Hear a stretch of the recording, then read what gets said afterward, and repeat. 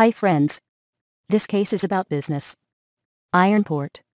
Scott Weiss, CEO of IronPort, a leading web security business, is considering an acquisition deal from Cisco Systems in November of 2006. Even though Weiss had actually initially meant for IronPort to IPO, a series of occasions have actually taken place that have actually made an acquisition a possibly more appealing choice. Weiss is stressed over exactly what will occur to the IronPort lifestyle once it is soaked up underneath the Cisco umbrella. Weiss should choose which path is the very best method to choose his business, and if he chooses to offer, he should figure out the very best method to share the news with his staff members. Thanks for watching this video.